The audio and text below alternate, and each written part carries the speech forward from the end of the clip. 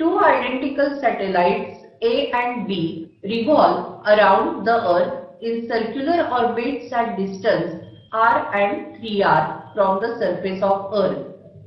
The ratio of the linear momenta of A and B is is it 1 is to 1, 2 is to 1, 1 is to root 2 or is it root 2 is to 1?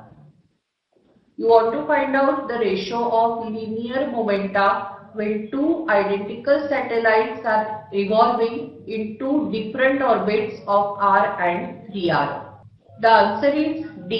It is root 2 is to 1 uh, you are asked about the linear momentum of the satellite and you know now that the linear momentum is inversely proportional to root r. Therefore, P1 upon P2 is equal to root of R2 upon R1.